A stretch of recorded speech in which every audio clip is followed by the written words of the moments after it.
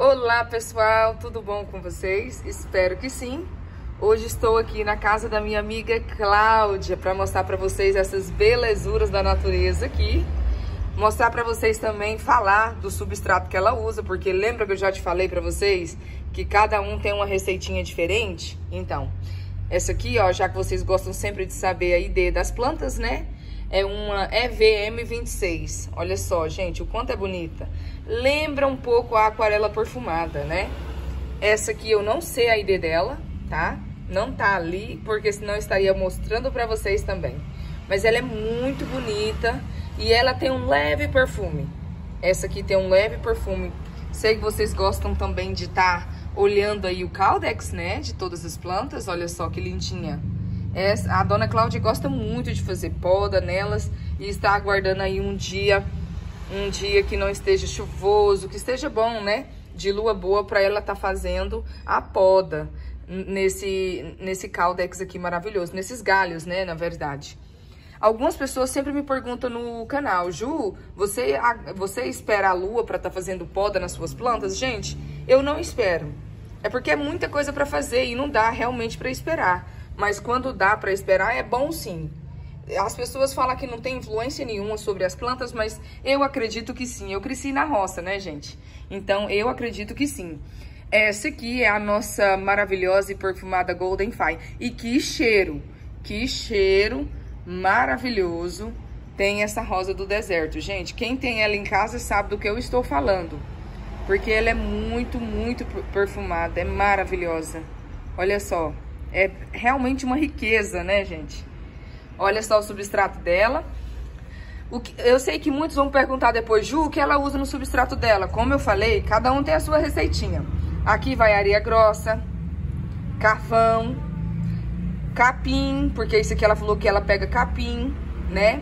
É, farinha, de, farinha de ovo, substrato, né? Um substrato que ela compra e mistura nisso tudo.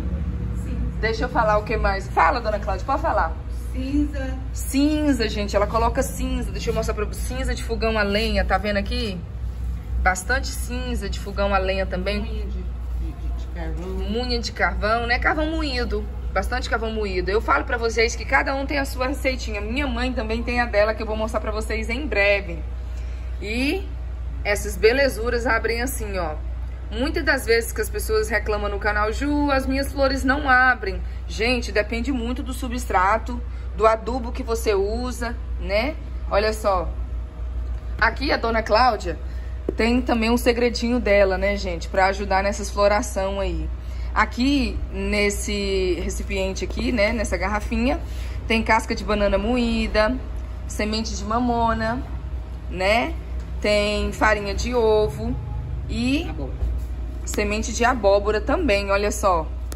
E ela fez esse adubo aqui, dá super certo com as plantas dela, gente. Super certo. Carvão também. É, não esqueça, bastante carvão moído. É igual minha mãe. Minha mãe também é assim, gente. É dá cada planta bonita, maravilhosa. Essa aqui é a prima de sanção, mas tá sem flores. Mas tá muito bonita. Muito bonita, bem cuidada, né?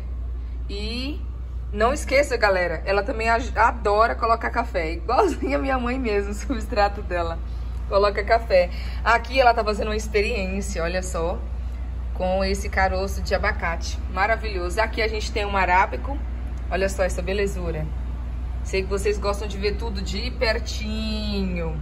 Cheio de estrias de crescimento. Tem muitas pessoas que perguntam, Ju, e manda foto pra mim no meu privado. A, a minha planta, a minha rosa do deserto tá assim, ela tá doente? Não, gente. Isso aqui é estrias de crescimento. Significa que o caldex está engordando para ficar ainda mais gordinho e bonito. Essa aqui, como é de semente, essa rosa do deserto aqui, ó. Olha só que lindinha. É de semente, ela colocou o nome de Tarly 1. Olha só. É singela, né? Mas é um singelo maravilhoso. Muito bonito. Olha só. Linda, linda, linda. Aqui é uma aquarela perfumada, mas ainda tá sem flores. E aqui a gente tem a maia. Por quê? Essa aqui, gente, é igualzinha uma que eu tenho em casa, que se chama AP122. E por incrível que pareça, essa aqui é de semente. Olha só. Não é de enxerto, é de semente e ela deu o nome de Maia. A ID dela é Maia. Olha só, incrível, né? Incrível mesmo.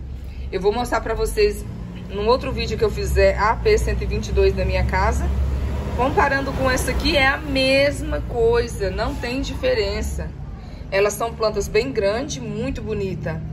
Muito bonita mesmo, olha só. É a mesma coisa da que eu tenho em casa. A única diferença é que essa aqui realmente é de semente, é de sementeira. Igual essa daqui, que é a Tarly 1, também, olha só. Demora e muito florífera. Demora. É, a dona Cláudia tá falando que demora muito as flores cair, gente. E ela é muito florífera, né? Olha só. Que linda, maravilhosa.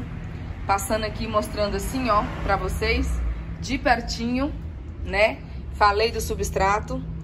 Falei também do adubo, que ela coloca tudo juntinho. Como ela usa? Nem falei pra vocês como ela usa. Ela faz um buraquinho aqui perto do vaso e coloca uma quantidade, né? Coloca tipo uma colherzinha em cada buraquinho que ela faz no vaso. Ela não povilha em cima, não. Ela faz, coloca um buraquinho do lado. Então tá, família. Quero agradecer a vocês por todo o carinho, por todas as mensagens. Muito obrigada a todos vocês e até o próximo vídeo.